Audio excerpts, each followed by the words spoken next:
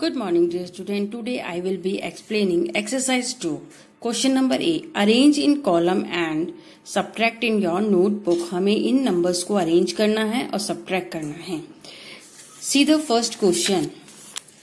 983 subtract 461. First of all you counted digits. 1, 2, 3 and 1, 2, 3. तो first of all how many digits in 3? Hundreds में होती है.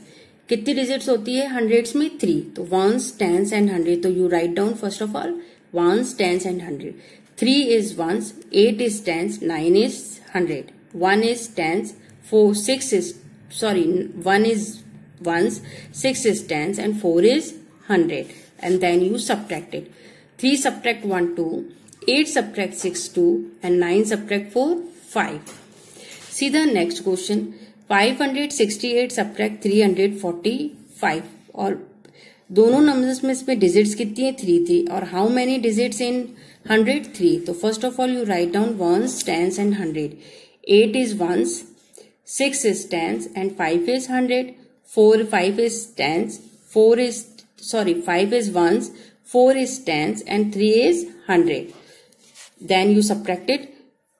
8 subtract 5 3 6 subtract 4 2 and 5 subtract 3 2 see the next question. This question is subtract it. Thousand hundred and ten and ones.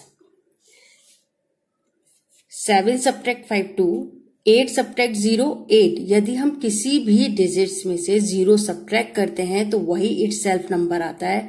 For example nine subtract zero nine five subtract zero five तो then eight subtract zero eight six subtract three three and eight subtract seven one do question number A and B in your notebook thank you